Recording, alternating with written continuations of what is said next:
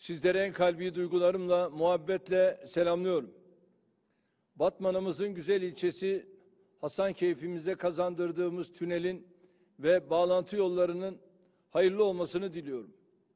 Sizlerin de yakından bildiği gibi Türkiye'nin gelişmesini, büyümesini, ilerlemesini sağlayacak her proje gibi Ilısu Barajı'na da engel olmak isteyenler sayısız iftira ve tehditle karşımıza çıktılar.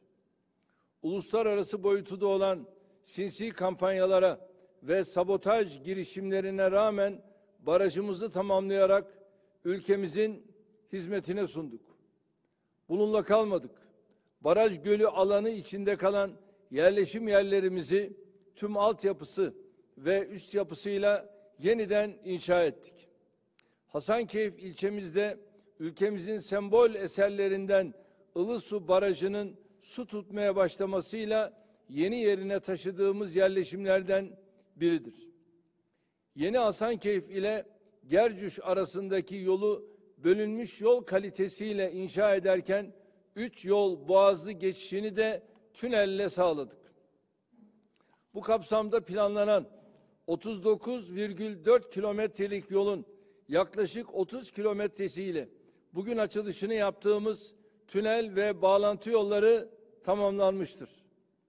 Halen inşası süren yolların da bitmesiyle Batman'ın ilçeleri ve bölgedeki diğer yerleşim yerleri arasında hızlı, güvenli, konforlu bir ulaşım temin edilmiş olacaktır.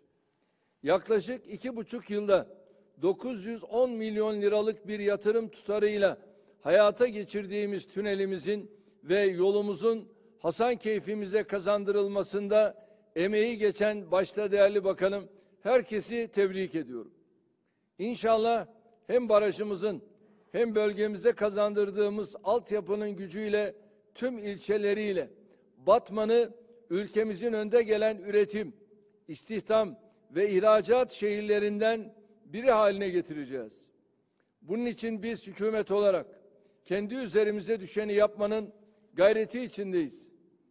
Eğitimden sağlığa, güvenlikten adalete, ulaştırmadan enerjiye, tarımdan sosyal desteklere kadar her alanda ülkemize asırlık hizmetler kazandırmaya devam ediyoruz. Batmanlı girişimcilerimizden de yeni yatırımlarla kendilerine sunduğumuz bu imkanları değerlendirmelerini bekliyoruz. Medeniyetin, tarihin, kültürün, petrolün şehri Batman'ın sanayisi, tarımı, ticaretiyle önündeki fırsatları kullanacağından şüphe duymuyorum. İnsanlığın binlerce yıllık tarihine şahitlik etmiş. Bu toprakların bize sunduğu nimetlerin şükrünü ancak elimizdeki imkanları en etkin şekilde değerlendirerek ifa edebiliriz. Ülkemizi ve özellikle bölgemizi varlık içinde yokluğa mahkum etmek, bunun için uğraşanların derdi ne sizsiniz ne de evlatlarımızın geleceğidir. Onlar kirli hesapların, karanlık odakların, sinsi hayallerin peşindedir. Biz ise ülkemizin tamamını kalkındırarak, zenginleştirerek, büyüterek Türkiye'nin dünyanın en gelişmiş ilk 10 ülkesi arasındaki yerini alması için mücadele ediyoruz. Değerli kardeşlerim, biz ülkemizi bugünlere her karış toprağına dokunan, her ferdine ulaşan eser ve hizmetlerimizle getirdik. Türkiye'nin asırlık kayıplarını ve eksiklerini 20 yılda ikmal ederken aslında çok daha büyük vizyonların, çok daha büyük hedeflerin altyapısını kuruyorduk. İşte bu sevinç, özgüven ve azimle Cumhuriyetimizin ilk yüzyılını kapatıp yeni yüzyılını açmaya hazırlanıyoruz. Ilısu Barajı sizlerin gözleri önünde. Gerek Batman, gerek Mardin hep birlikte sizlerin her an iç içe olduğu dev bir baraj. Şimdi ise bu gayet güzel metroyla, bu tünelle ve önündeki viyadükle hamdolsun bu güzel şehirlerimize bağlantıları kuruyoruz.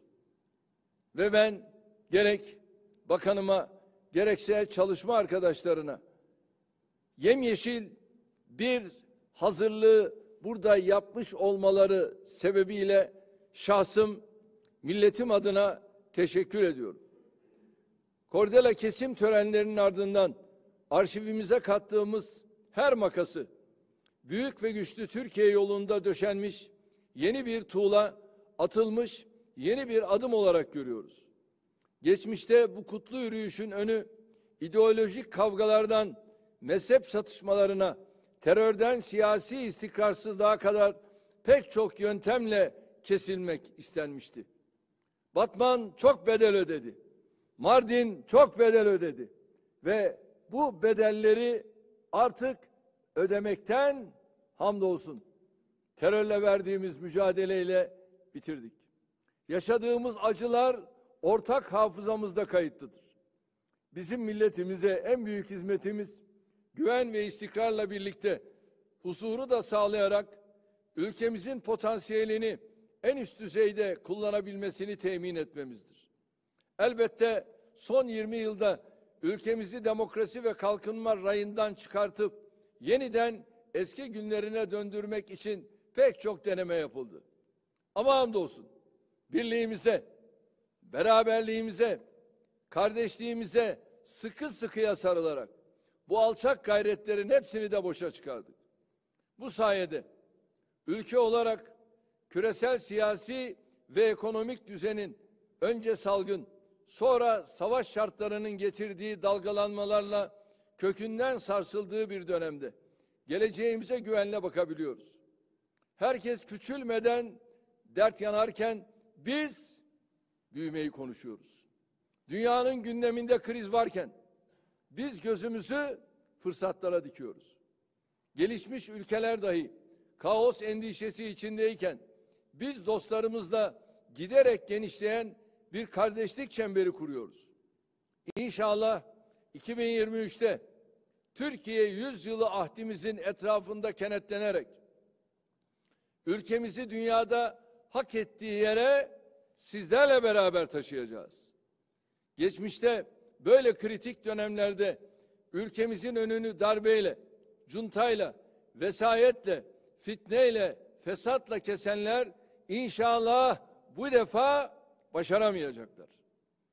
Küresel krizin ülkemize etkileri sebebiyle canı yanan vatandaşlarımıza kayıplarını telafi etmenin ötesinde çok daha büyük kazanımlar sağlayacak hazırlıklarımız var.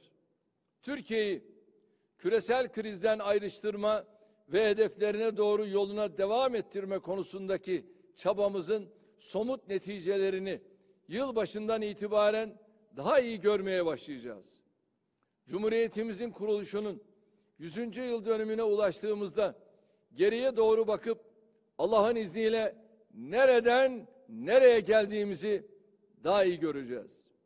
Atalarımızın sabırla koruk helva olur sözüne uygun şekilde azimle, kararlılıkla, umutla işimize bakacak, projelerimizi hayata geçirecek, vizyonlarımızın altını dolduracağız. Rabbimizin insan için ancak çalıştığı kadarı vardır emri ilahisini kendimize rehber edinerek yolumuza devam edeceğiz. Bu duygularla bir kez daha açılışını yaptığımız Hasankeyf Tüneli ve bağlantı yollarının şehrimiz, bölgemiz ve ülkemiz için hayırlı olmasını diliyor. Emeği geçen herkesi tekrar tebrik ediyorum. Sizleri sevgiyle, saygıyla selamlıyorum. Kalın sağlıcakla.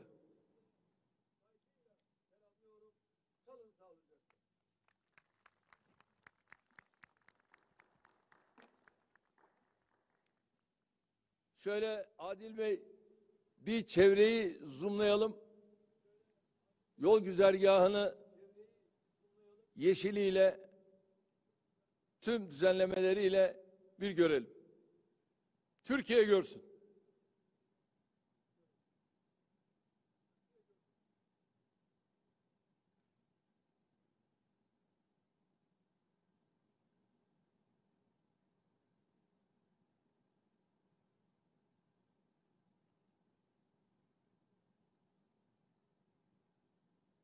Sayın Cumhurbaşkanım Hasankeyf'ten bütün Batmanlı kardeşlerimin selamlarını, saygılarını, sevgilerini sizlere iletiyorum. Çok teşekkür ediyorum.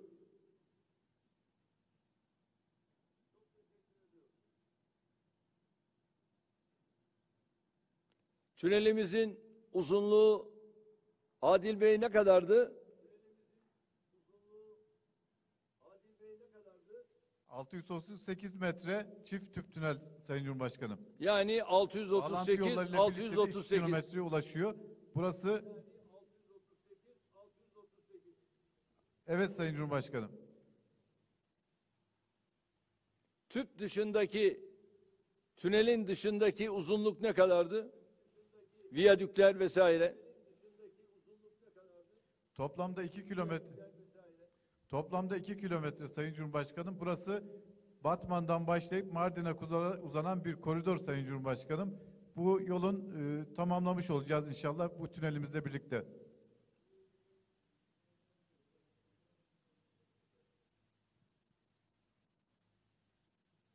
Yani sıcak asfalttan sonra aşınma filan onlar da bitti değil mi? Tamamıyla bitti Sayın Cumhurbaşkanım. Daha önce Hasankeyf 1 ve Hasankeyf 2 köprülerini de sizlerin talimatlarıyla açmıştık biliyorsunuz. Bugün de tünelimizle birlikte Gerdüş'ü de bağlamış olduk Batman'a. Maşallah. Evet. Hayırlı olsun. Şimdi tüm Türkiye hep birlikte izliyorlar. Ankara'dan selamlar, sevgiler. Görüyorum Adil Kara İsmailoğlu Ulaştırma ve Altyapı Bakanımız. Yanında Ekrem Canalp Bartman Valisi. AK Parti Batman Milletvekili Ziver Özdemir. Abdülkadir Uraloğlu Karayolları Genel Müdürü.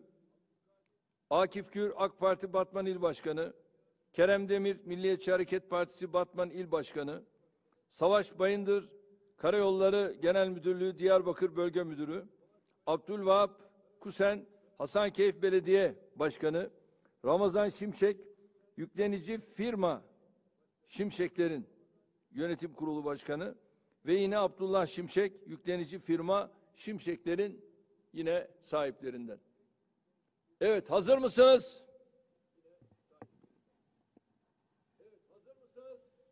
Hazırız Sayın Cumhurbaşkanım. Kordeleyi kesiyorsunuz.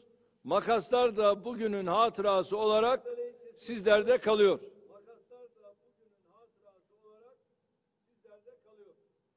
Ya Allah! Bismillah.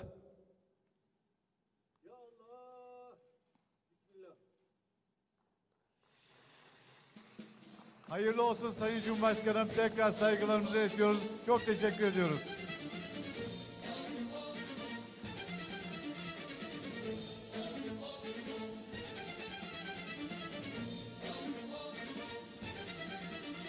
Evet. Bu yollarda aşkına koşan yorulmaz.